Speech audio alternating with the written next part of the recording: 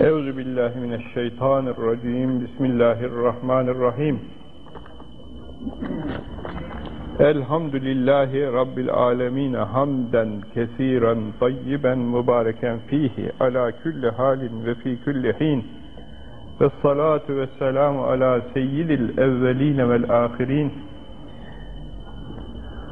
Ve senedül aşıkîn tacı ruusina ve tabibi kulubina Muhammedinil Mustafa وعلى آله وصحبه ومن تبعه بإحسان ذوي الصدق والوفاء. أما بعد فاعلموا أيها الإخوان فإن أفضل الحديث كتاب الله وأفضل الهدي هدي هدي أفضل الهدي هدي سيدنا محمد صلى الله عليه وسلم وشر الأمور محدثاتها وكل محدثة بدعة ve külle bid'atin dalale ve külle dalaletin ve sahibeha finnâr ve bis senedil muttasili ilen nebi sallallahu aleyhi ve selleme ennehu kal.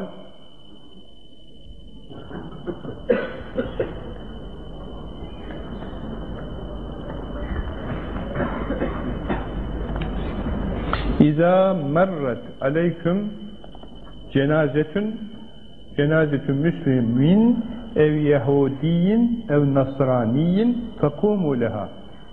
Fe inna leyse leha nekum. İnnama nekumu limen ma'aha minel melaike. An Ebi Musa radıyallahu anhu revahu Ahmed ibn Hanbel ve Taberani. Aziz ve muhterem kardeşlerim Allah cümlenizden razı olsun sevdiği, razı olduğu kul olarak yaşamayı, huzuruna sevdiği, razı olduğu kul olarak varmayı, cennetiyle, cemaliyle müşerref olmayı, iki cihanda bahtiyar olmayı nasip eylesin.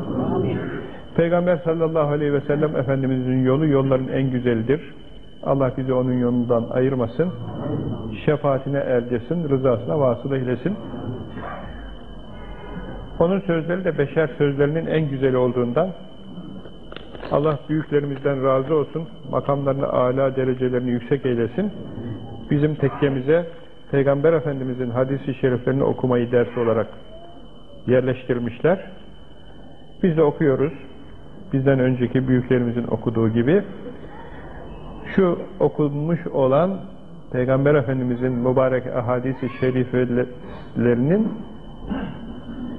feyzinden istifade etmeyi ve mucebince amel etmeyi allah Teala Hazretleri cümlenize, cümlemize nasibi müyesser eylesin. Bu hadis-i şeriflerin okunmasına ve izahına geçmeden önce bir gönül vazifemiz var. Sevgiden, saygıdan kaynaklanan. Başta Peygamber sallallahu aleyhi ve sellem Efendimizin ruhu pakine hediye olsun diye sonra onun mübarek alinin, ashabının, etbaının, ahbabının ruhlarına hediye olsun diye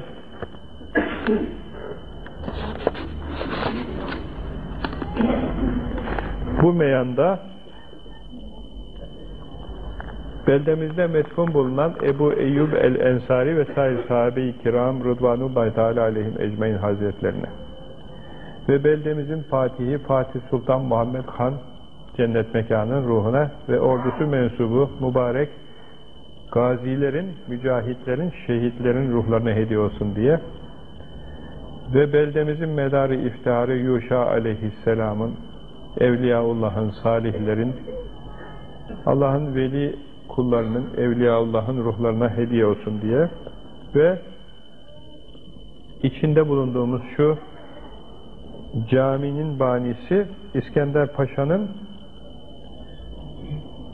ve bu camiyi zaman zaman tamir ettirmiş, genişletmiş, büyütmüş, hizmette tutmuş olanların ruhlarına hediye olsun diye bu camiden güzeran eylemiş olan imamların, hatiplerin, cemaatlerin, vaizlerin, kayyımların, müezzinlerin ruhlarına hediye olsun diye, caminin çevresinde metfun bulunanların ruhlarına hediye olsun diye ve bilhassa uzaktan ve yakından bu dersi takip etmek üzere buraya gelmiş olan siz değerli ve sevgili kardeşlerimizin ahirete göçmüş olan bütün Müslüman geçmişlerinin ecdadu ceddat, akraba-ı taallukat, ahbab-ı yaran, ihvanu, evladı, zürriyetlerinin ruhlarına hediye olsun diye ve biz hali hayatta olan kullarına da Rabbimiz tevfikini refik eylesin, ömrümüzü rızasına uygun geçirmeyi cümlemize nasip eylesin. Sevdiği kul olarak yaşayalım da huzuruna sevdiği kul olarak varalım diye bir Fatiha, üç İhlas-ı Şerif okuyup büyüklerimizin ruhlarına hediye edip öyle başlayalım dersinize. Buyurun. Bismillahirrahmanirrahim. Elhamdülillah.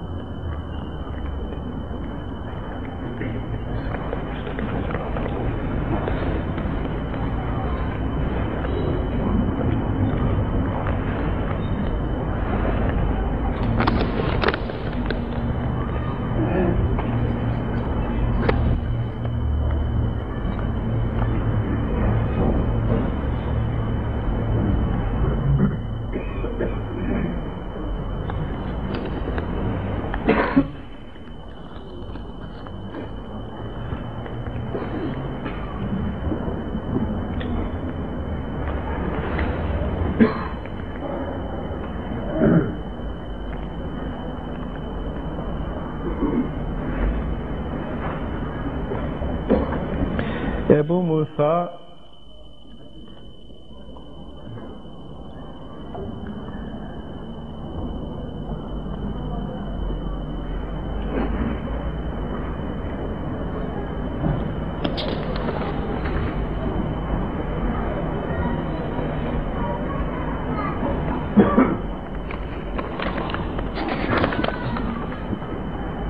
Musa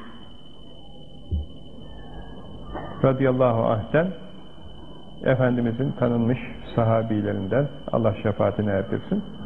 Ahmed İbni Hanbel'in ve Taberani'nin rivayet ettiğine göre Peygamber Efendimiz bize bir cenazeye karşı vazife nasıl olacak diye tavsiyede bulunuyor bu hadisi şerifinde.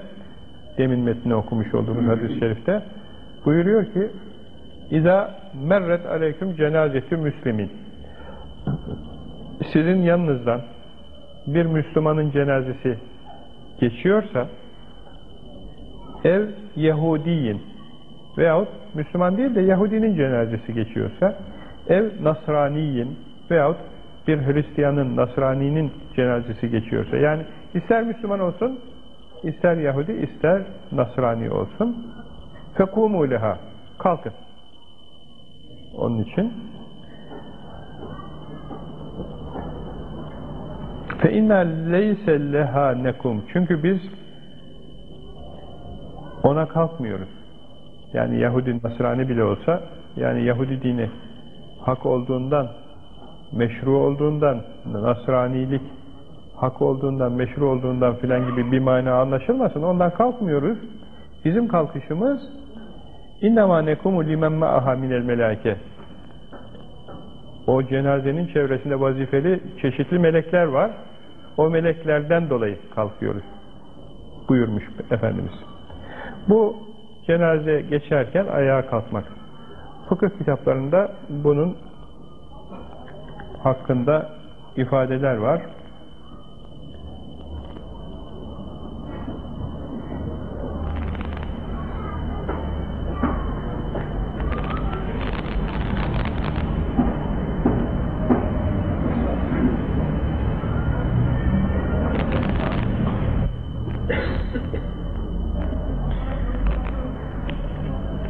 Başka hadis-i şerifleri de şerhte hocamız rivayet etmiş. Mesela Sehl İbni, Sehl İbni Huneyf ile Kays İbni Sa'd Oturma, oturmaktalarmış Kadisiye'de. Bir cenaze geçmiş onların yanından kalkmışlar. Kalkınca fıkhile lehuma bu iki şahsı ki sahabedir sormuşlar ki inneha minel ard yani min ehli zimme. Yani bunlar Müslüman değildi. Ehli zimmet yani Müslümanların arasında yaşayan gayrimüslimlerden e, ehli kitaptan idiler. Deyince fekala ennen nebiye sallallahu innen nebiye sallallahu aleyhi ve sellem Peygamber Efendimizin zamanında da merret bihi cenazetin fekame e, cenaze geçmişti de Peygamber Efendimizin yanında o kalkmıştı. Fekile lehu denmişti ki inneha cenazeti Yahudiyin bu bir Yahudi cenazesidir denilmişti. Fekale eleyset nefsen ee, onlara cevaben buyurmuştu ki Efendimiz yani e, matet yani bir can değil miydi bu? Canı olan bir varlık değil miydi? Ölmüş. Fel kıyamu leha li ecli suubetil mevt ve tezkirihi la lizatil meyit. Demek ki bu ölümün mehabetinden, heybetinden, ölüm hadisesinin büyük bir hadise olmasından ve zorluğundan, zor tahammül edilir bir iş olmasından ve ölümü hatırlamaktan kaynaklanan bir harekettir. Buyurmuş oluyor Peygamber Efendimiz yoksa vefat eden tabutun içindeki şahsın kimliğinden kaynaklanan bir hadise değil. E, isterse o Müslüman cenazesi olmasa Yahudi veya Nasrani bile olsa kalkılmasını tavsiye etmiş oluyor diye bu hadis-i şeriflerde böyle rivayet edilmiş. Efendim e, fıkıh kitaplarında bu konuda kalkmak konusunda çeşitli hükümler var ama hadis-i şerifte e, şerhinde de hocamız ayrı bir kayıt ileri sürmemiş, uygun görmemiş öteki kayıtların söylenmesini. İkinci hadis-i şerif. Bugünkü hadis-i şerif 9. hadis-i şerifiydi. 64. sayfanın ikincisi 10. hadis-i şerif oluyor. İzâ meralte bil meclisi fesellim ala ehlihi. Fe in yekûnü fî hayrin künte şerikehum. Ve in yekûnü fî gayri zâlike kâne leke ecr.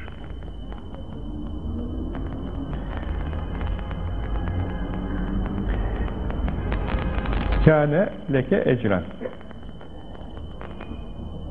Bu ikinci hadis-i şerif de yine bir topluluğun yanından bir insan geçerse nasıl davranacak bir adab öğretiyor Efendimiz. Buyuruyor ki İza mererte bil meclisi bir topluluğun oturmuş bir insanlar bir kenarda duruyorlarken yanından sen geçiyorsan meclis demek ille kapalı bir yerde oturan insanlar demek değildir. Yani şöyle bir kenara toplanmış insanlara da insan topluluğuna da meclis denir.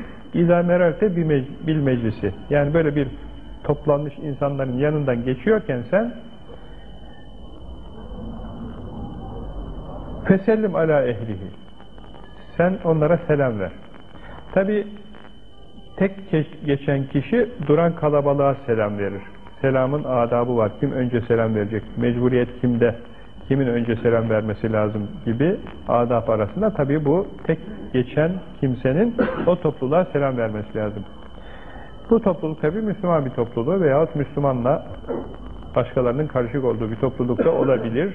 Yani meclisül İslam ev muhteliten bil İslam. Müslümanların bulunduğu meclis olabilir. Efendim selam ver. Fe in yekünü fi hayrin. Eğer onlar hayır üzerelerse, hayır içindelerse, yani hayırlı bir toplantı halindelerse orada, güzel.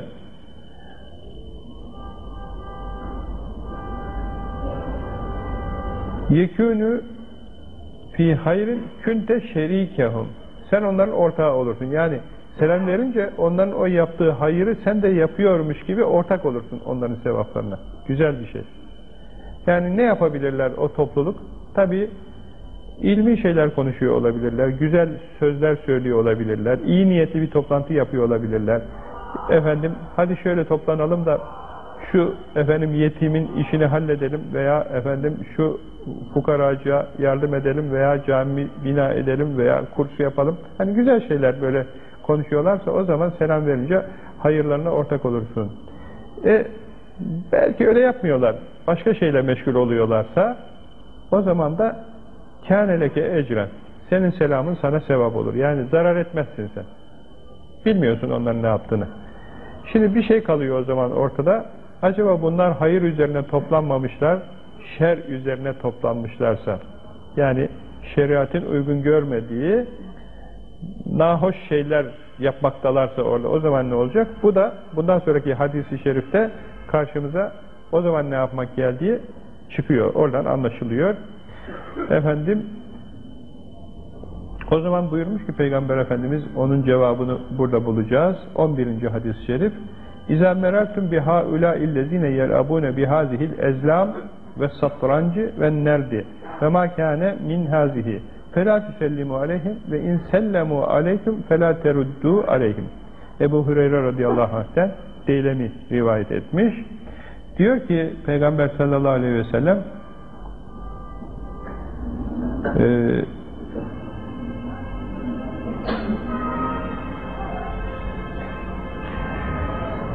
İza merertüm. Geçtiğiniz zaman biha ulaillezine yelabuna bihazhil ezlam fal oklarıyla oynayan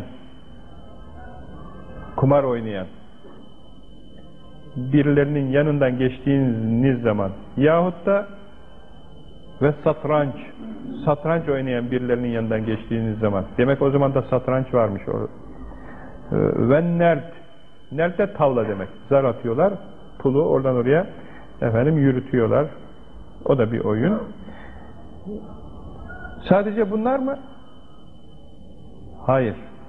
Ve makane min hazihi yani bu babtan sayılan bu minval üzere olan şeylerle oynuyorlarsa yani o zaman iskambil yoktu. İskambil oynuyorsa o da buna dahil. O zaman bilmem şimdi kahvelerde neler var bilmiyorum. Efendim şu veya bu yeni bir şeyler yoktu. Yani bu baptan ne varsa Efendimiz nokta nokta demiş vesaire demiş yani. Fela tüsellimu aleyhim. Bunlara selam vermeyin. Neden? Fasıklık yapıyorlar. Yalan yanlış iş üzerinde. Meşguliyetleri doğru değil, güzel değil. Efendim, فَلَا تُسَلِّمُ aleyhim.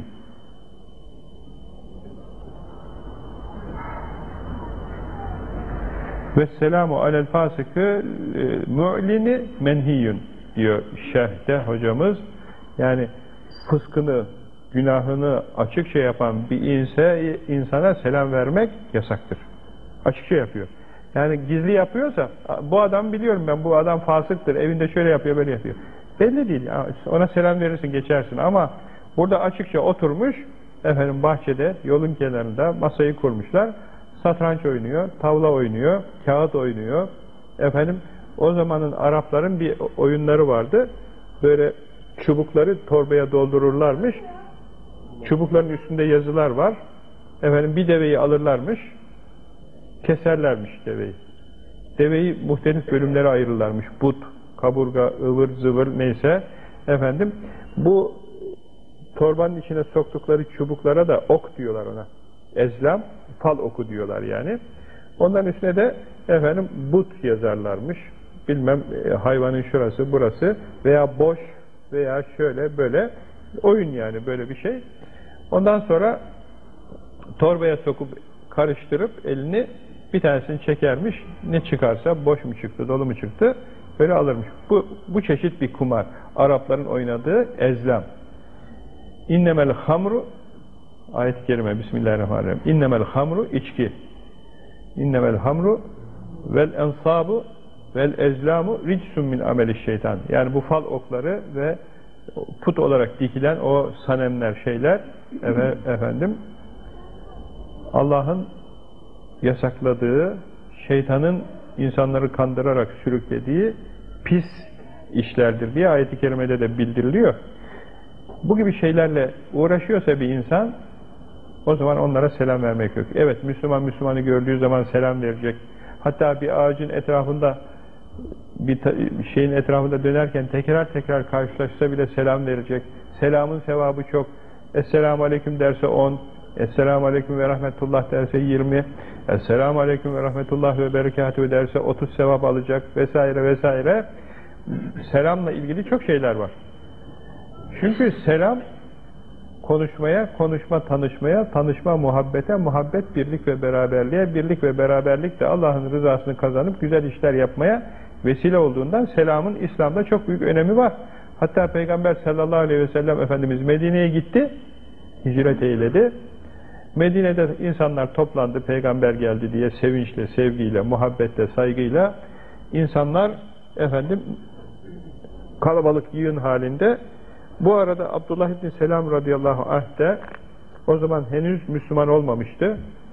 Yahudi alimlerinden birisiydi. duymuş peygamber denilen bir kimse geldi bakalım nasıl bir kimseymiş bu diye o da peygamber efendimizin meclisine geldi anlatıyor diyor ki feiza vechuhu leyse bi vecihi kezzab yüzüne bir baktım ki yüzü pırıl pırıl nur hiç öyle boş yere iddia eden yalan söyleyen efendim peygamber olmadığı halde ben peygamberim diyecek bir insan değil. Yüzünden okunuyor nuraniyet, mübareklik yüzünden akıyor yani. Feiza vecuhu leyse bir veçi kesam. Yani kendisi Yahudi alimi daha görürken aşık olmuş, görünce anlamış yani böyle bir e, sıdkı sadaket sahibi efendim hak peygamber olduğunu anlamış. Ne söyledi? Sözü de Peygamber Efendimizin yani Medine'ye yeni gelmiş daha yeni bir şehre gelmiş topluma ilk konuşmalarını yapıyor. Ne söylemiş? Buyurmuş ki efşü, efşü selam selamı aranızda yaygınlaştırın. Esselamu aleyküm, esselamu aleyküm, esselamu aleyküm ve rahmetullah. Selamı tavsiye ediyor. Sonra ve at'imut ta'am ziyafet çekin birbirinize. Efendim ve sılul erham akrabalarınızla münasebetlerinizi canlı tutun. Kesmeyin. Birbirlerinizi ziyaret edin. Dayı, amca, teyze, hala, uzak yakın akraba neyse gidin gelin gö konuşun görüşün ihtiyacı varsa karşılayın para pul yiyecek yiyecek ihtiyacı varsa verin filan demek yani. Ve sallu billeyli ve nasuniyam geceliğin de insanlar uyuduğu zaman kalkın abdest alın namaz kılın filan diye tavsiye etmiş. Ama görüyoruz ki ilk tavsiye ettiği cümle yani selam verin selamı yaygınlaştırın. Bildiğinizde bilmediğinizde selam verin buyurmuş.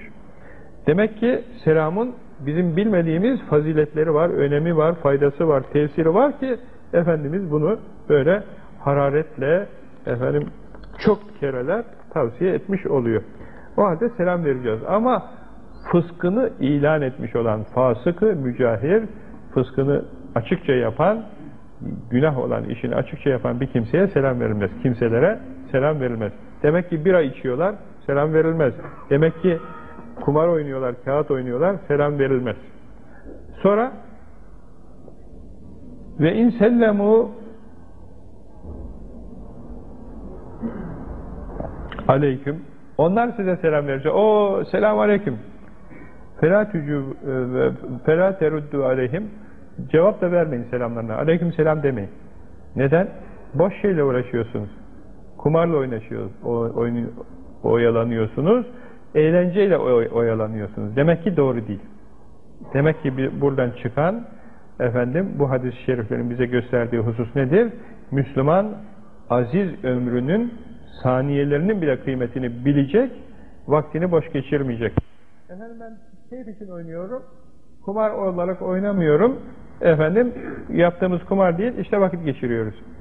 Bir de satranç için diyorlar ki satranç zekayı açıyor efendim fili şuradan sürdün, piyade buradan gitti, efendim kale buradan feth oldu, şuradan şu şöyle oldu, buradan bu böyle oldu, efendim şu oyunu o yaptı, bu oyunu bu yaptı. Zekanı sen başka türlü aç. Yani kitap okuyarak aç, Kur'an ezberleyerek aç. Yani zekayı açmanın bir sürü yolları var.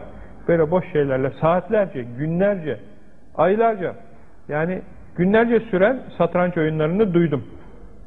Öyle aynen muhafaza ederlermiş. Dama şampiyonları bilmem neler işte ver bir taş ver bir taş daha efendim yut ötekileri dama de bilmem ne filan. Ne bunlar? Ne oluyor yani? Boş şey. Boş dehviyat, eğlence vesaire kıymetsiz şeyler.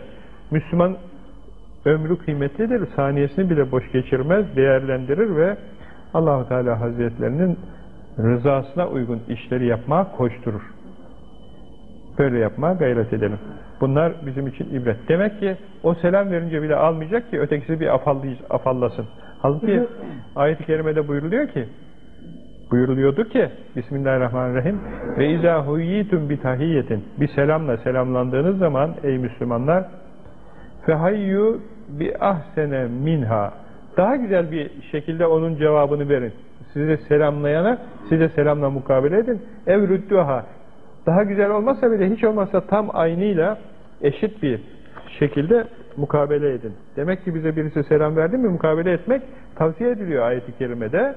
Ama fasıkın yaptığı fısk güzel değil diye onun güzel olmadığını ona hissettirmek için bak ben senin selamını da almıyorum diye bir jest, bir tavır olacak. O halde Müslümanlar böyle davranırlarsa tabi tesirli olur. Bizim akrabamızdan birisi anlatmıştı. İş icabı kamyonetine malları doldurup pazarlıyormuş. Bir dükkana, bir kasabaya gitmişler. Efendim, ama küçük bir yer. İşte akşam olmuş. Bizim evimizde kal demiş. Yok rahatsız etmeyin. Ben kamyonda dururum, yatarım, alışkınım. Yok olmaz bizim eve gel. Eve gitmişler. Adam sakallı. Satıcı sakallı. Hacı ibadetinde. Şimdi abdest almış. Küçük bir yer. Başka otel motel de yok. Artık misafirliği kabul etmiş. Abdest almış. Ya demiş hava karardı ben anlayamadım. Yani kıble ne tarafta sizin evde demiş. Ev sahibi boynunu bükmüş, omuzunu kaldırmış, dudağını çevirmiş. Vallahi demiş bilmiyorum. Evinin kıblesini bilmiyor. Bizim Hacı Efendi'nin sigortası atmış. Patlamış artık yani. Hani ticari münasebetleri var. Müşterisi filan ama evine de misafir geldi ama sigortası atınca hani patlayınca artık iş bitiyor. Demiş ki vallahi de billahi de evinin evinde namaz kılmayıp da evinin kıblesinin hangi istikamette olduğunu bile bilmeyen bir insanın evinde yatmam demiş. Ya etme eyleme. Yatmam demiş. Yemin etmiş. Sokakta yatarım ya. Ne biçim şey. Sen Allah'ın kulu değil misin? Müslüman değil misin? E Müslümanım. E niye? Yani kıbleyi bile bilmiyorsun. Hiç namaz kılınmamış evinde. Ve yeminine göre hakikaten çıkmış. Artık ev sahibi de bakmış yemininden dönmeyecek. Dükkana bir şey yapmış. Yatak yapmış. Dükkanda yatmış o gece. Ve sabahleyin de neyse biraz soğuk bir şekilde ayrılmış satıcı bizim sakallı efendi. Fakat diyorlar sonra adama çok koymuş bu tavır. Ev sahibine çok tesir etmiş. Çok utanmış, yaralanmış yani. Yaralansın. Lazım çünkü. Efendim. Sonra kıbleyi de öğrenmiş, namazı da öğrenmiş, abdesti de öğrenmiş. Hatta çocuklarını da Kur'an kursuna vermiş filan. Ben e, cahil yetiştim bari çocuklarım bir şeyler öğrensin diye.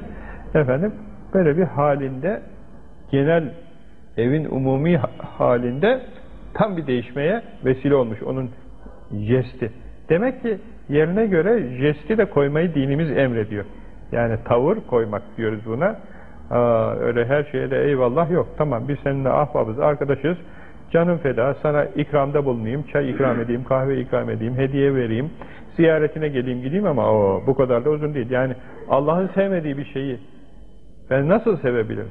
Allah'ın düşmanıyla ben nasıl dost olabilirim? Allah'ı bilmeyen bir insana nasıl yakınlık duyabilirim? O zaman da tabi tavır koymak lazım. Tabi böyle bir tavırın görüyorsunuz karşı tarafa tesiri büyük oluyor.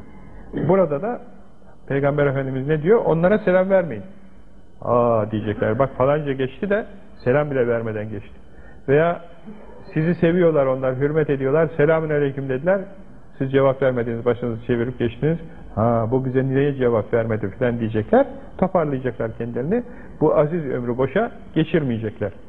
Şehzadenin Gülistan'ında bir ifade var. Bana böyle tesir etmiştir. Diyor ki ömrü giran beha derin sarf şot. Şu bizim aziz ömrümüz neyle geçti? Ta çehoren sayfu çepuşem şita. Yani yazın ne yiyeceğim, kışın ne bürünüp giyeceğim diye bu aziz ömür böyle geçti diyor. Ona bile üzülüyor. Hani yazın insan ne yiyeceğini düşünür, harmanını yapar, kışa hazırlık yapar, efendim yufkasını yapar, açar, yerleştirir, kıyar, eriştesini hazırlar, tarhanasını yapar, erikleri kurutur, elmaları kurutur, armut kakı yapar. Köylüler bunu yani yapıyordu hep eskiden. Yani yazın ne yiyeceğim diye bir hazırlık. E, kışın da soğuk bastırdı mı ne giyeceğim diye yazdan tabi kazaklar örülür, şeyler yapılır, e, hazırlıklar yapılır filan. Ama Şehzadi üzülüyor ona. Yani şu aziz ömür diyor. Aziz kıymetli demek. Çok değerli demek. Ender ele geçen demek. Hakikaten de ömür insanın bir gittin bir daha ele geçmez. İkincisi yok. Çarşıdan alınmaz. Tebdil edilmez, uzatılmaz. Efendim değiştirilmez. Tamiri mümkün değil. Hatanın gitti mi efendim ömrün dakikaları ne yapsan geri getirmek mümkün değil. O halde ömrü layık yere harcamak lazım, güzel geçirmek lazım, boş geçirmemek lazım. Ya hocam yani birazcık da işte stresimizi atıyoruz diyebilirler. Çünkü millet şimdi her şeyi her şeye bir itiraz hastalığı var. Yani eski insanların hali nasıldı? Allah böyle buyurmuş. Gale Allahu Teala fi kitabihil kerim Allah Kur'an-ı Kerim'de böyle buyurmuş deyince eyvallah. Amenna ve saddakna diyorlardı. Tamam diyorlardı. Söz dinliyorlardı. Allah ayeti kerime indirmiş. İçki içmeyin. Evlerinde içkiler varmış. Dökmüşler küpleri. Sokaklara dökmüşler. Sokaklardan sel gibi şaraplar akmış. Bırakmışlar hemen. Şunu şöyle yapmayın baş üstüne. Şimdiki zamanın insanları da neden? Neden diye soruyor. Şunu şöyle yapma diyorsun. Ayet var diyorsun. Hadis var diyorsun. Hadis var deyince daha da ukalalaşıyor. Dikleniyor bir de şöyle. Diyor sahih mi bakalım? Hadis sahih mi? O zaman da öyle horozlanıyor senin karşına. Tamam sahih var mı bir diyeceksin. sahih. İnceliyorsun. Sahih. O zaman da yutkunuyor bir şey söyleyecek gene. Gene bir çare e, kaçamak noktası arıyor yani. Ama e, tabii yanlış. Doğru olan nedir? Dinin emri neyse onu anladığı zaman insanın e, teslim olmasıdır. İslam ne demek? Tarifler nasıl? İslam insanın kendisini Allah'a teslim etmesi demek. Ya Rabbi teslim oldum sana. Sen ne dersen onu yapacağım. Kendi nefsimin keyfine gitmeyeceğim. Şeytanın buyruğunu tutmayacağım. Dünyaya dalıp ahireti unutmayacağım. Senin buyruğunu tutacağım demek. Sen Müslüman oldun mu? Oldum. Eşhedü en la ilahe illallah ve eşhedü enne Muhammeden abduhu ve resuluhu dedim. Allah'ın varlığını, birliğini ikrar ettim. Resulullah'ın Allah tarafından gönderilmiş olan peygamberi olduğunu, elçisi olduğunu, Allah'tan bize Allah'ın emirlerini getirildiğini anladım. E Anladın da tutmamak için mi anladın? Yani Allah'ın elçisi olduğunu da biliyorsun. Efendim Allah'ın ahkamını getirdiğini de biliyorsun. Tutmamak için mi anladın? Öyle şey olur mu yani? Nasıl olacak? İtaat edecek. Sem'an ve taaten diyecek. Arapların sözü böyle. Sem'ina ve ata'na veyahut da sem'an ve taaten. Yani işittik, tamam itaat ediyoruz. Baş üstüne. Biz baş diyoruz. Doğu Anadolu'da da başım gözüm üstüne diyorlar. O da güzel. Yani öpüp başına koyuyor, gözünün üstüne koyuyor. Başı da kıymetli insanın. Akıl var çünkü. Gelse bir odun küt diye vursa insan sendeler yıkılır yere. Efendim gözü gözüne bir hal olsa bir kardeşimizin önünde şey patlamış da oradan akü patlamış, gözüne akünün asitleri sıçramış, hastanedeymiş. Dua edelim Allah gözünü kaybettirmesin, şifa versin. Bir Fatiha okuyalım cümle geçmişlerin hastalarımız şifa bulsun diye Bismillahirrahmanirrahim.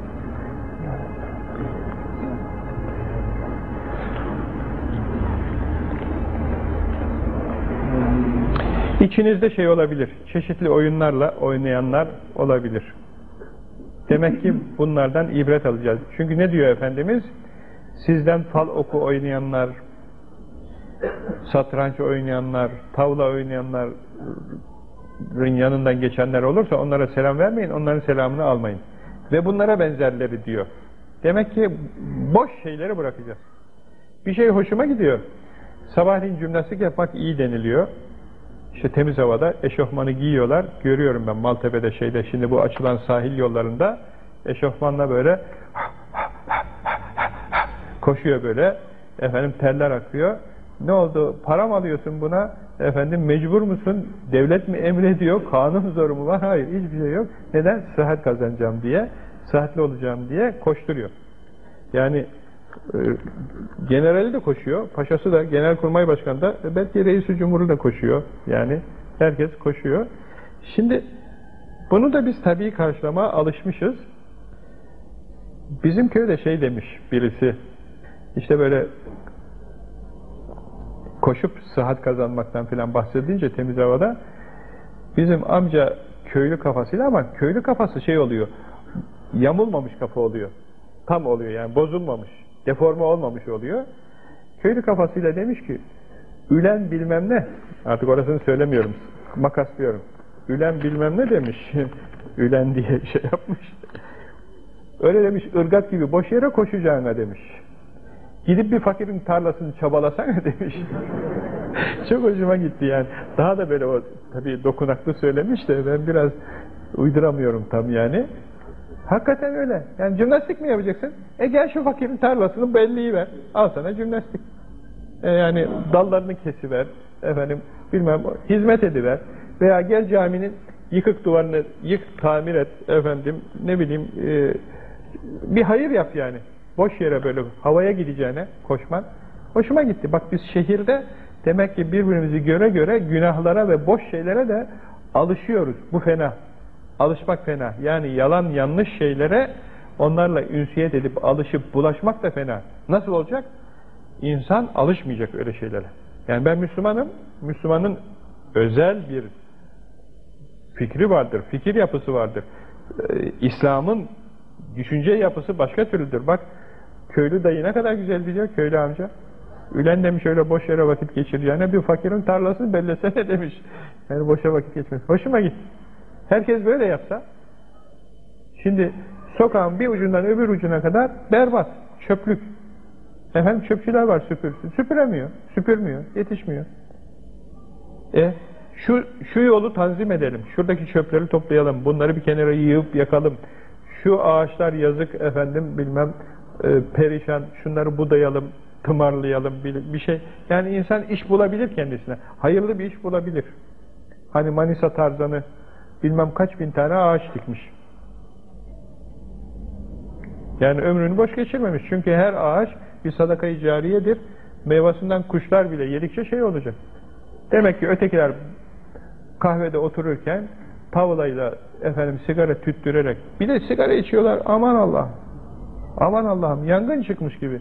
Yani bir işin olsa da bir kahveye gidecek olsan acaba ocak tutuşu da içeride yangın mı var diyorsun? Yok hiçbir şey yok. Herkes bir sigara yakmış. Marlboro bilmem ne bilmem ne dünyanın parası. Efendim kovboylar gibi ağzında şöyle yamuk. Efendim hem konuşuyor hem oyun oynuyor hem sigara tüttürüyor. Temiz havada gidiyoruz. Oh mis gibi hava. Elhamdülillah yayla havası. Bak tertemiz ne duman kokusu var bilmem ne karşıdan çobanı görüyoruz ağzında sigara fesübhanallah yani dağın başında dumandan nasibini parayla alıyor biz şehrin dumanından, hava kirliliğinden kurtulduğumuza, dağın başına, yaylaya gittiğimize sevinip elhamdülillah diyoruz. Dağın başındaki adam efendim şeyi, dumanı bizim kaçtığımız dumanı parayla alıyor.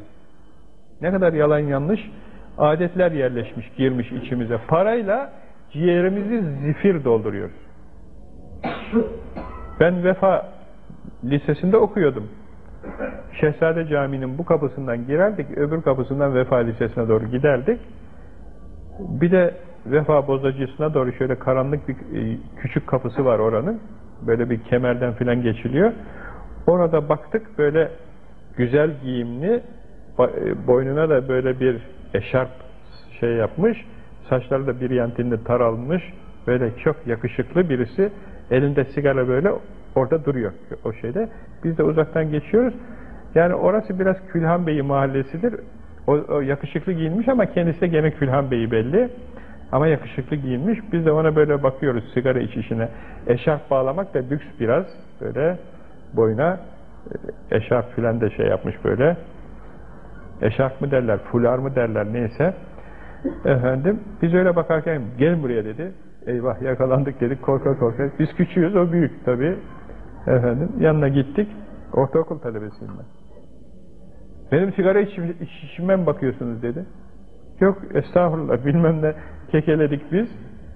Bakın dedi cebinden hiç unutamıyorum yani. Bize öyle bir ders verdi ki cebinden tertemiz böyle bir mendil çıkardı.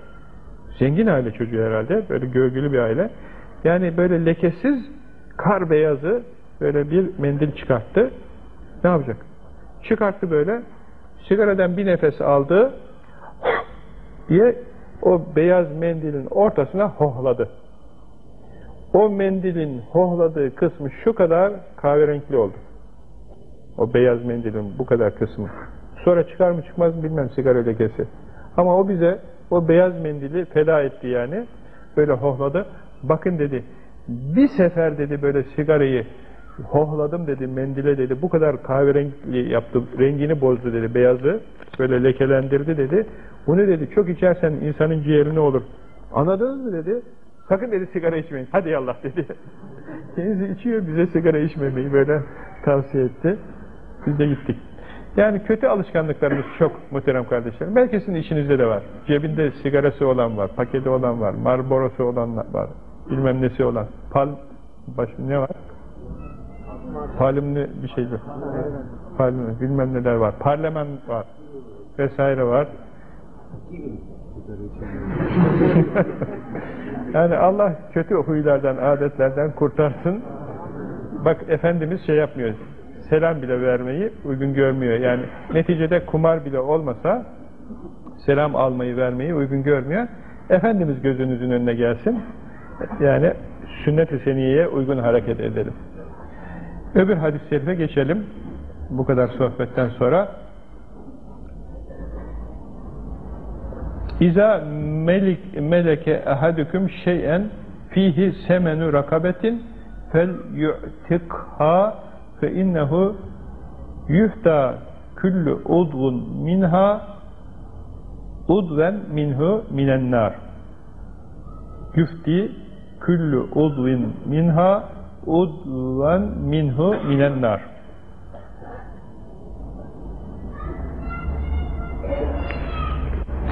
Bu yeni hadis-i şerif köle azat etmekle ilgili efendim buyuruyor ki Peygamber sallallahu aleyhi ve sellem sizden biriniz bir kölenin bedeline malik olunca bir köle satın alacak paraya sahip olduğunuz zaman Artık yani bugün için bir kölenin bedeli neye benzer, ne kadar olur? Herhalde bir otomobil fiyatı filan gibi böyle bir şeydir Allahu alem. Otomobillerin de fiyatları farklı oluyor, çeşitli oluyor. E, kölelerin de tabii yaşlısı var, genci var, kuvvetlisi var, zayıfı var. İş bileni, sanat sahibi olanı var, sanat sahibi olmayanı var. Fiyatları farklıdır ama böyle kıymetlidir. Efendimiz buyuruyor ki, sizden biriniz eğer bir köle alacak bir kölenin fiyatını karşılayacak kadar bir mala mülke sahip olursa, bir varlığa sahip olursa ne yapsın? فَلْيُعْتِقْهَا Bir köleyi satın alsın, azat etsin. Kurtarsın esaretten onu. Bedelini ödesin. Çünkü sahip oldu ya o kadar paraya. Ödesin. O adamcağızı da hürriyetine kavuştursun. O da kölelikten kurtulmuş olsun. Çünkü فَاِنَّهُ Yüfti küllü udvun udvin minha yani o kölenin her azası bu köleyi alıp da esaretten kurtaranın her azasını cehennemden kurtarma feda olur. Vesile olur, bedel olur. Yani kolu koluna, gözü gözüne, kulağı kulağına, dişi dişine, efendim yüzü yüzüne, başı başına, ayağı ayağına, beli beline, neyse sırtı sırtına şey olur, cehennemden kurtulmaya vesile olur. Efendimiz ne tavsiye ediyor? Sen bir köleyi azat edersen Allah da seni cehennemden azat eder demiş oluyor. Böylece esaretten kurtarmayı, esirlerin efendim hürriyetlerini kazanmasını sağlamayı yolunu tavsiye etmiş oluyor.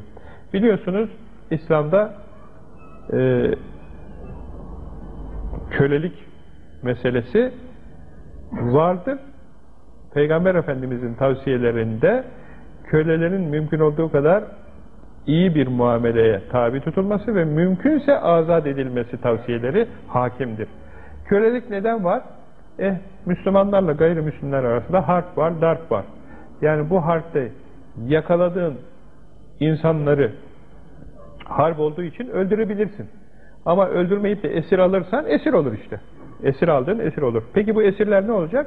Esirler o zaman kullanılır.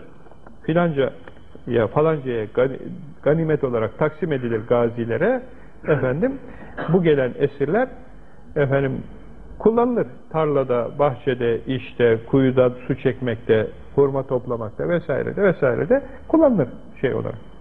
Ama bunlar Müslüman olursa ne olacak? Olabilir. Müslüman olursa iyi olur. Müslüman olmayıp da öyle eski dininde Hristiyan, Yahudi, efendim bilmem mecusi kalanlar var. Efendim mesela Hazreti Ömer'i yaralayan İranlı bir böyle köleydi. Yani şehit olmasına sebep oldu yani. Saldırdı, şey yaptı. Öyle kendi inancında kalanlar var, Müslüman olanlar da var. Tabi e, Müslüman olsa da olmasa da bir kere köleliği kullanırken de onun da canı olduğu düşünülecek, yediğinden yedirilecek, giydiğinden giydirilecek, zulmedilmeyecek, efendim ölçülü bir tarzda kullanacak. Bu bir. Hizmetçi kullanmak, köle kullanmanın adabı. İkincisi, mümkünse efendim köle azat edecek. Köle azat etti mi insan kendisi cehennemden azat olmuş oluyor. Bu hadis-i şerifte onu tavsiye etmiş oluyor.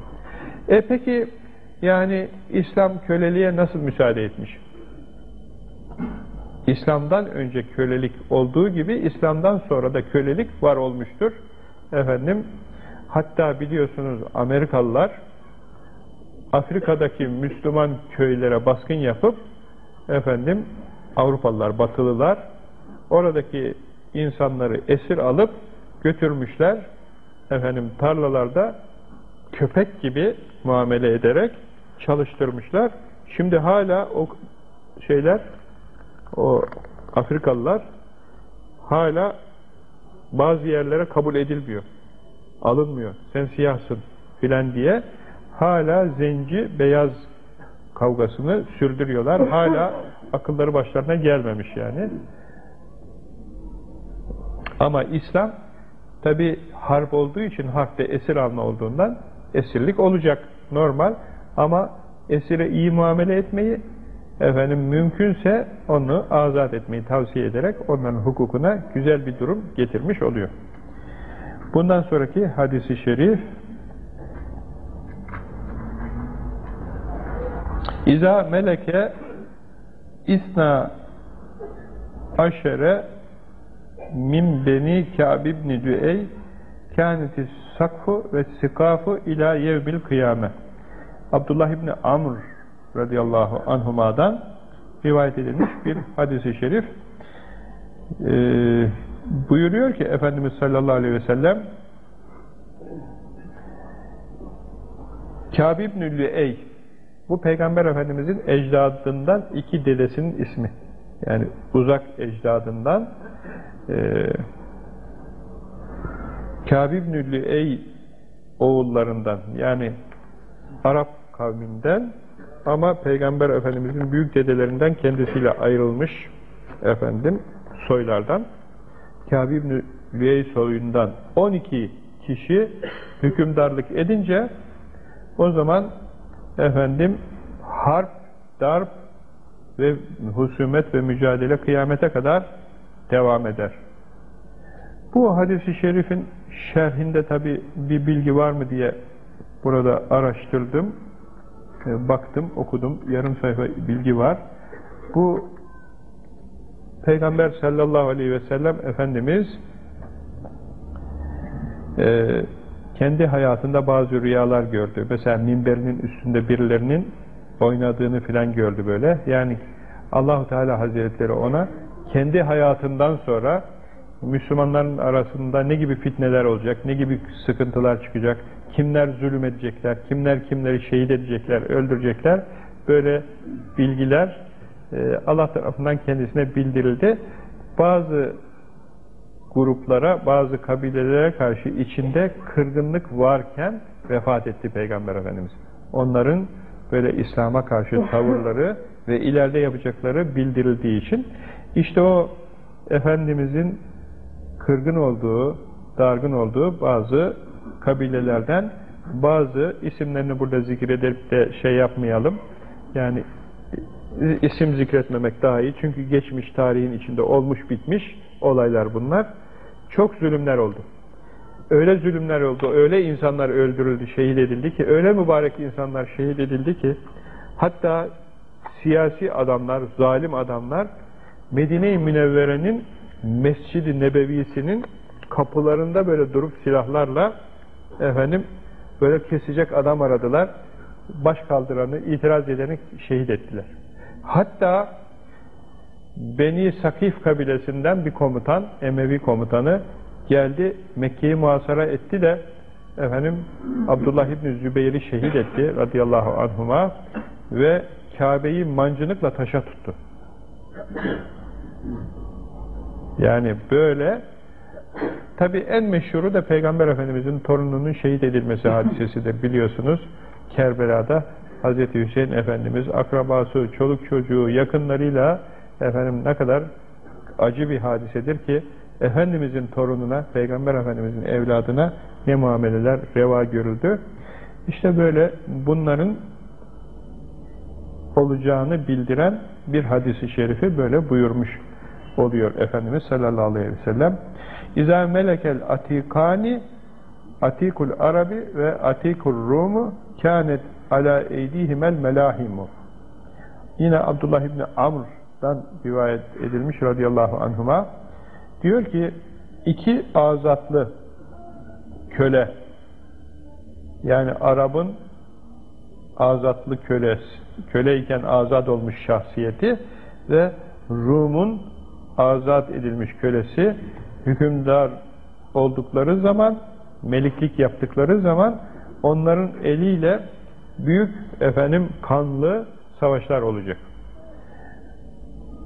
Bunun hakkında da şerhte hocamız Gümüşhaneli Hazretleri Ahmet Siyahattin Efendi bu diyor Melhame-i Kübra olacak şeyde Amik Ovası denilen yani Hatay ilindeki efendim Asi Nehri'nin ovası olan yerde efendim Beni Asfar denilen batılılarla yani Rum kökenli, Roma kökenli yani batılı kavimlerle Müslümanlar arasında çok büyük bir savaş olacak.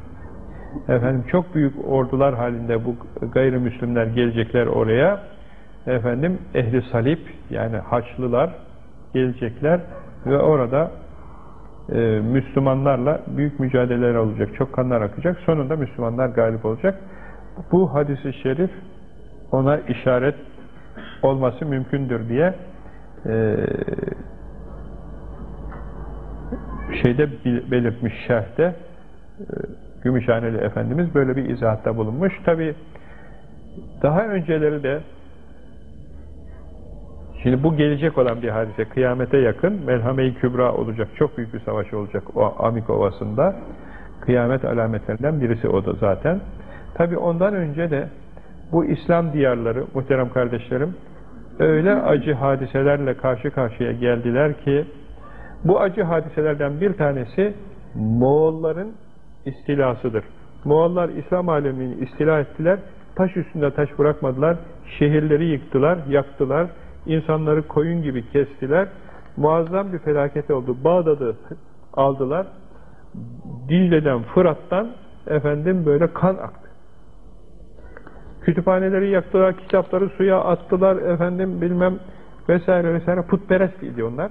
Onları Hristiyanlar tahrik etmişlerdi Müslümanların karşısında. Hatta meşhur bir şey var, Marco Polo var, seyahatnamesi vesairesi. O adamın papalığın gizli bir görev vermesiyle batıya gidip de Muğalları tahrik ettiği rivayet ediliyor. Yani siz Müslümanlara o taraftan saldırın filan diye böyle bu işi tezgahladığına dair e, rivayetler var. Yani İslam alemini yaktı yıktı ve İslam medeniyetini toz, toz etti. Yani şimdi Sırpların Mostar'da, Bosna'da, efendim Yugoslavya'nın muhtelif yerlerinde yaptığı gibi muazzam bir felaket ve İslam'ın o güzelim eserleri, o Emevi İmparatorluğunun, Abbasi İmparatorluğunun efendim o e, mamur hale getirmiş olduğu diyarlar, kurmuş olduğu şehirler, yazılmış olan muazzam kitaplar, kütüphaneler, zenginlikler o barbarların, o vahşilerin elinde mahvoldu. Ondan sonra Haçlı felaketi oldu bu taraftan.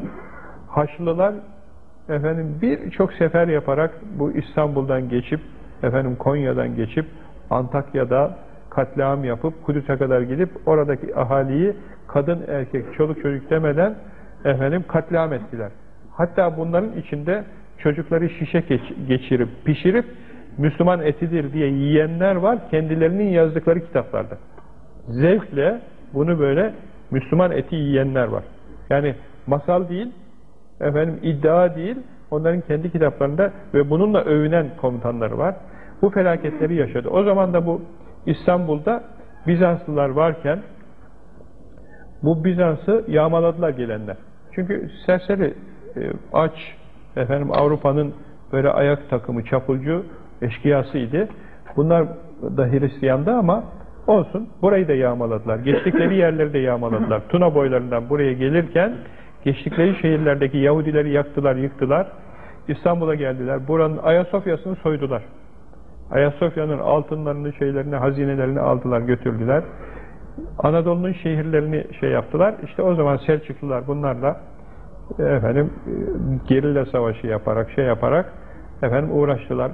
Antakya şehrini muhasara ettiler. Bir Ermeninin casusluğuyla, hıyanetiyle şehri hileyle ele geçirince çoluk çocuk demeden kestiler hepsini. Yamyamlık yaptılar. Ondan sonra bir ara Urfa şehrini ele geçirip orada Hristiyan krallığı kurdular. Kudüs'ü ele geçirdiler. Yani düşünebiliyor musunuz? Neden oldu? Bunların için anlatıyorum size. Müslümanların tefrikaya düşmesinden, ayrılık gayrılığa düşmesinden, birbiriyle düşman olup çekişmesinden, birlik ve beraberliği sağlamamasından oldu. İspanya'yı da böyle kaybettik. Efendim Sicilya'yı da, Malta'yı da böyle kaybettik. Oraları elimize geçmişti. İtalya'nın güneyini de böyle kaybettik. Şimdi de göz göre göre hepimizin gözü önünde Balkanları kaybediyoruz. Yani daha önce kaybetmiştik. Şimdi onların esareti altındaki Müslüman kardeşlerimizin kesilmesini görüyoruz göz önünde. Toprakları kaybettik. Mülkiyet onların eline geçti. Kardeşlerimiz onların boyunduruğu altına düştü. Şimdi kardeşlerimizin göz göre göre dünyanın medeniyet medeni denilen ülkelerin gözü önünde katliama uğratılmasını görüyorsunuz. Yapılan şeyleri görüyorsunuz. 60 tane öğrenciyi biz aldık getirdik müesseselerimizde okutalım diye efendim yani e, vazifeli kardeşlerimiz kendilerini tutamamışlar, hüngür hüngür ağlamışlar manzaranın karşısında. Yani anası babası ölmüş çocuğun. Bir ninesi kalmış, bir kız kalmış. Buraya gelmiş. Gelemeyenler orada. Gelemeyenler daha feci durumda. Bu gelmiş de kurtulmuş neyse. Şimdi bizim okulda okuyacak kız ninesi torunundan ayrılmak istemiyor. Torun ninesinden ayrılmak istemiyor. Acıklı bir sahne. Ben okumak istemiyorum. Nine senden ayrılmayayım bari diyor. Çünkü anasını babasını kesmiş sırtlar. Neyse bir formül bulmuşlar da nineye de sen burada kal sana da bir görev vermiş olalım. Efendim yurtta şu işi yap torunuyla beraber ol filan demiş oluyorlar. Yani muhterem kardeşlerim biz burada nimet içindeyiz. Çarşılarımız, pazarlarımız dolup taşıyor nimetten. Efendim gıdalar çürüyüp atılıyor dağlar gibi. Çöpçüler taşıya taşıya temizleyemiyorlar yani. Elhamdülillah. Ve Moskova'da kalmış olan bir kardeşim geldi anlattı. Oraya ticaret için gitmiş. Rusya'nın her yerinde Türk malları var diyor. Dükkanlarını Türk malları doldurmuş diyor. Ukrayna'nın, Rusya'nın, Polonya'nın, Romanya'nın ekmeklerini bizim fırıncılar gidip şey yapıyorlarmış. Yani bizim bereketimiz, arazimizin bereketi oralara doğru yayılıyor. Oralarda bizim mallarımız satılıyormuş. Tabi bu bir bakıma şey, efendim, güzel bir durum. Elhamdülillah ki yani hem ticari bakımdan bir gelişme var. E, malımızı oraya satıyoruz tabi. E, mukabilinde bir kazanç sağlanıyor. Hem de memleketimizin ne kadar onlardan üstün olduğunu görüyoruz. Evet adamlar yani milletin parasını sıkmışlar boğazını, parasını biriktirip uzay sanayine vermişler, atomu yapmışlar, uzay sanayini kurmuşlar tamam ama yani bizden ileri değil. Bizden ileri değil. Bizden bol, e, iyi durumda değiller. Biz neyiz? Elhamdülillah bolluk içindeyiz. Roman kadınları, Roman kadınları buraya geldikleri zaman işte bir pundunu bulup da bir Müslümanla evlenebilirse e, sevincinden uçuyor. Yani burada kalmanın bir yolunu bulabilirse. Yani namuslusu. Hani burada birisiyle evlenebilirse filan diye. Böyle sevincinden uçuyor. Yani şunu demek istiyorum. Memleketimiz elhamdülillah Allah'ın lütuflarıyla, nimetleriyle dolu ama Allah'a karşı kulluk vazifelerimizde Türkiye'nin ahalisi olarak yani şu caminin cemaati olarak demiyorum. Sizler tabi müminsiniz, vazifelerinizi bilen insanlarsınız. Türkiye'nin genel olarak ahalisi namına söylüyorum. Allah'a karşı vazifeler yapılmıyor. Günahlara dalınmış durumda. İçkiler içiliyor, biralar içiliyor, televizyonlar seyrediliyor, barlar, pavyonlar sabahlara kadar ışıl ışıl çalışıyor. Efendim rezalet diz boyu, hatta insanın boyunu geçmiş, gark olmuş durumda insanlar. Yani Allah bize bu nimetleri vermiş, insanlar da Allah'a asi olmakta şaşılacak kadar bir aşırı efendim gaflet ve dalalet ve cehalet içindeler. Allah başımıza bir felaket getirmesin diye dua edelim. Onların doğru yola gelmesi için çalışalım ve biz biz şu mümin kullar yani Allah'ın e, rızasını kazanmak isteyen insanlar, Allah'ın emrini tutmak isteyen, İslam'a hizmet etmek isteyen insanlar gözümüzü açalım, çok çalışalım. Boş durmayalım. Yani bir saniyemizi bile böyle tavla, santranç, efendim bilmem kağıt, oyun, futbol vesaire bununla geçirmeyip efendim ne yapmamız gerekiyorsa onları yapalım. Çünkü şu memlekete de Allah bir darbe indirirse sizi edepsizler sizi. Namaz kılmazsınız, oruç tutmazsınız, haramdan sakınmazsınız, zina edersiniz, içki içersiniz, faiz yersiniz. Ben sizin hakkınızdan gelirim diye bir ceza verse bir bela, musibet inse yani biz şeylerden daha beter oluruz. Etrafımızda gördüğümüz insanların hali bize ibret olmalı. Azerbaycan'daki kardeşlerimizin Ermeniden kaçıyor, toptan, gülleden e, nehri geçerken boğuluyor. 11 bin kişi boğulmuş. Nehri geçecek öbür tarafa değil. Düşünün ki buradan öbür tarafa geçmeye çalışıyor, boğuluyor. Göz göre göre ah gitti, vah gitti, feryat, çığlıklar. Manzarayı düşün. Bosna her şeyi düşün. Dört bir yanı çevrilmiş. Havadan yardım gitmez. Giderse Birleşmiş Milletler'in kontrolünden geçer. Sırpların eline düşer. Hırvatların eline düşer. Karadan yardım gitmez. Denizde NATO ordusu nöbet tutar. Yani etrafı çevirmişler. Vurun Müslümanları, öldürün, yok edin diye bir plan var. Ve göz göre göre biz de burada efendim futbol maçıyla efendim Galatasaray galip oldu. Efendim tamam filancayı yendi diye efendim deli divane gibi oyun şey yapıyoruz yani. Şuursuz bir şekilde. Allah akıl fikir versin. Nereden açıldı bunlar? Yani bu büyük şeyler olacak e, şeyden önce efendim kıyametten önce ve geçmişte olmuş ve İslam alemine çok çeşitli hücumlar, çok büyük düşmanlıklar yapılmış. O düşmanlık gene devam ediyor. Şu Yunanlının şeyini okuyun gazetelerden. Bakın, şu Ermeninin haline bakın. Şu Avrupalıların bize davranışlarının nasıl ikiyüzlü olduğuna bakın. Gözünüzü açın. Allah Allah uyanıklık versin. Allah tedbir almayı nasip eylesin. Onların musibetlerine, belalarına, hücumlarına, düşmanlıklarına, tecavüzlerine bizi maruz bırakmasın. Lütfuyla bizi ıslah eylesin. Kahrıyla, gazabıyla tecelli etmesin. Düşmanla bizi terbiye etmesin. Son bir hadis daha okuyalım. Efendim, burada bırakalım artık. Çünkü bir saat doluyor. İza nadakumul müezzinu bis salati herebe şey şeyatinu hatta yekunu bir ravhai. Cabir İbni Abdullah el-Ensari Hazretlerinden rivayet edilmiş. 15. hadis-i şerifi okumuş olduk. 16'da kalacağız artık.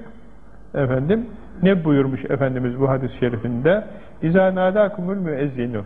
Müezzin minareden size ezanı okuyup seslendiği zaman Allahu Ekber, Allahu Ekber, Eşhedü en la ilahe illallah işte böyle ezanı okuma, seslenmeye başladığı zaman size hayyâle selah, hayyâlel felah namaza gelin, felaha gelin diye her eve şeyatînû şeytanlar firar edip kaçıp giderler. Hatta yekûnû bir ravhai ta fersahlarca uzaktaki yerde Ravha diye bir yer varmış. Yani bir rivayete göre 30 küsür kilometre, bir rivayete göre 40 küsür e, mil uzakta Ravha diye bir kasaba varmış. Uzak bir yer tabi o zamanın şeylerine göre. Yani şeytanların o kadar uzağa gittiğini dinleyenlere Peygamber Efendimiz şey olarak anlatıyor. Misal vererek anlatıyor. Yani burada ezan okunduğu zaman ta oraya kadar şeytan Yani bu ezanın sesinden kaçar gider diye bildiriyor. Onun için bizim tabi anladığımız şeyler var, anlamadıklarımız var. Gördüklerimiz var, görmediklerimiz var. Yani gözün görmediği ama olan şeyler çok. Şu havanın içinde ilmin tespit ettiği neler var, neler var, neler var. Yani bir de maneviyatın tespit ettiği neler var. Şu yerde gökte, etrafımızda neler var. Onları tabi manevi bakımdan gönül gözü açık olanlara Allah gösterirse gösteriyor. Bu namazın, ezanın, ibadetin, zikrin, orucun, haccın, zekatın, yani Allah'ın emirlerinin ne kadar kıymetli olduğunu yani insan tam takdir edemez. Kıymetini tam bilemez. Ve Allah'ın yasakladığı şeylerin de insanlara ne kadar büyük felaketler getirdiğini insan anlayamaz. Ama ilmi arttı mı okudukça anlıyor o zaman. Okudukça işin esrarını anlıyor ve işin e, ehemmiyetine o zaman aşina oluyor. Yani biz bir ezan okunduğu zaman lafı bile kesmiyoruz. Kahvede oyunu bile bırakmıyor. Abdurrahim Zapsu vardı rahmetli. Efendim Erenköy istasyonunda tren bekliyormuş. Ezan okunmaya başlamış. Tam istasyonun karşısında Zihnipaşa Camii var. Ezan okunmaya başlamış. Salonda kalabalık. Millet konuşmasında şeyinde. Masaya bir vurmuş elini. Pat pat pat pat pat. Demiş beyler, bayanlar ezan okunuyor be demiş. Herkes susmuş yani. Millet şaşırmış böyle bir şey. Yani alışmış millet. Ya bu ezan bu. Allah'ın daveti bu. Evet müezzin sesleniyor ama Allah davet ediyor. Allah evine kullarını davet ediyor. Allah'ın büyüklüğü haykırılıyor fezaya. Allahu Ekber. Allah her şeyden daha büyük. En büyük Allah. En büyük ne Özal, ne falanca futbolcu, ne filanca takım. Şimdi millet alışmış, en büyük bilmem ne. Ne en büyüğü ya? Allahu Ekber işte. Allahu Ekber. En büyük olan Allah. Başka bir şey yok. Allahu Ekber deniliyor. O ezanın, o kelimelerin hepsinin bereketi var. Şeytan defolup gidiyor. Ezanın olduğu yere bereket yağıyor. Namazın kılındığı yere hayır geliyor. Namaz kılan insan Allah'ın ikramlarına mazhar oluyor. Bilmiyor bunu. Yani bilen biliyor da bilen ne kadar büyük kazançlar kazandığını biliyor da bilmeyen de işte ömrünü öyle gafil, cahil geçiriyor. Cami şurada duruyor, o namaza gelmiyor. Yurt şurada duruyor, tıklım tıklım yurt, namaza buraya gelmiyor. Gelmiyor. Allah hayya alel salah diyor, namaza gel diyor. Hayya alel felah, kurtuluşa gel diyor. Davet ediyor. Müezzin bağır, bağırıyor sabahleyin. Es-salatu hayrun minen nevm. Ya namaz uykudan daha hayırlı. Uyumayın, kalkın. Camiye gelin. Millet uyuyor. Yani hafife alıyor. Allah'ın sözlerinin manasını ciddiye almıyor. Yani kanıksamış. Kanıksamak çok büyük bir bela. Alışmak ve kanıksamak çok büyük bir hastalık. Titremesi lazım. Her seferinde insanın Allahu Ekber duyunca titremesi lazım. Hayalle salah deyince gözlerinin yaşarması lazım. Efendim es-salatu hayrun minen nevm deyince yatağından zıplaması lazım. O heyecan ölmemeli. Yani o ateş sönmemeli insanın içinde. Ama sönüyor. Niye sönüyor? Kanıksama belası, kanıksama hastalığı. Kanıksamış. He he tamam. Tamam tamam biliyorum. E ne biliyorsun? Hiçbir şey bilmiyorsun sen. Tamam canım biliyoruz tamam. Biz de duymuştuk hocadan. E duyduysan yap. Duyduğunu, duyduğunu yapmıyor. Bu zamanın insanının hastalığı bu. Peygamber Efendimizin zamanının insanı duyduğunu inandım, amenna ve saddakna diyordu. Tasdik ediyordu, yapıyordu. Sahabe-i kiramın meziyeti buydu. Bu zamanın insanı duyuyor. Duydun mu? Duydum. Anladın mı? Anladım. E yap bak. Sen yap. Sen yap. Ben yapmayacağım. Yaparım inşallah. Büyüyünce yaparım, yaşlanınca yaparım, emekli olunca yaparım, bilmem ne. Böyle çeşitli bahaneler ne televizyonun başından kalkıyor, ne oyunun başından kalkıyor, ne sohbetini kesiyor, ne lafını şey yapıyor. Efendim, böyle bir deze, dejenerasyon deniliyor buna, yani bozulma. Bozulma hali var. Heyecanını kaybetmiş. Dedelerimiz terki diyar eylemiş İslam için. Horasan'daymış, efendim bilmem Orta Asya'daymış, Allah'ın yoluna girmiş, efendim Allah yolunda cihad etmiş, buraları fethetmiş, efendim Çoluk çocuğunu bırakmış Abdullah e, şey, İbrahim İbni Ethem. Tacı tahtı bırakmış. Efendim bu zaman insanları gevezeliğini bırakmıyor, oyununu bırakmıyor, zevkini bırakmıyor. Demek ki bir yaygın gaflet var. Peki ne olacak? Yaygın gafletin arkası yaygın bir bela ve cezadır. Allah korusun. Yani Allah bizi lütfuyla uyandırsın da belaya uğratmasın. Tabi ben ve sizler hepimiz Bosnalılara, Herseklilere acıyoruz da Allah tabi bu belayı onların başına neden verdi? Onu da incelemek lazım. Yani bu bela gelmeden önce o şahısların durumları nasıldı? Namazları var mıydı? İnançları var mıydı? Kur'an'a bağlılar mıydı? İbadetlerinde düşkünler miydi? Onu da incelemek lazım. İbret almak için incelemek lazım. Allah bizi duyduklarını anlayan, anladıklarını uygulayan, ibret alan, yolunda yürüyen, gayret sarf eden, ömrünü hayırlı yolda sarf eden, Allah'ın rızasını kazanmak e, için çalışan ve kazanan kullarından eylesin. Amin. Huzuruna sevdiği, razı olduğu kul olarak varmayı nasip eylesin. Amin. Cennetiyle, cemaliyle müşerref eylesin. Bir hürmeti esrar-ı suretil Fatiha.